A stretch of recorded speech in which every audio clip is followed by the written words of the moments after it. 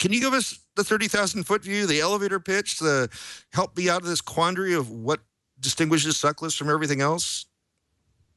Sure. So Suckless is a, community of well-minded guys with a focus on simplicity. So we want to develop software in the most simple possible way, but still um, having the software that we develop uh, being usable. So our focus is on the experienced user, and uh, we are trying to come up with covering more or less all of the software land that you know uh, that you need on a regular Unix-like operating system. So you created the Suckless project. How long ago was that, and what what brought that to your mind? Why did you start?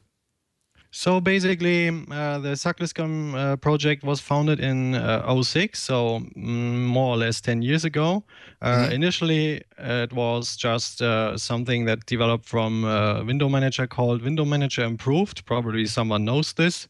And uh, the first project the Suckless community um, um, yeah, used was my window manager creation dynamic window manager, DWM.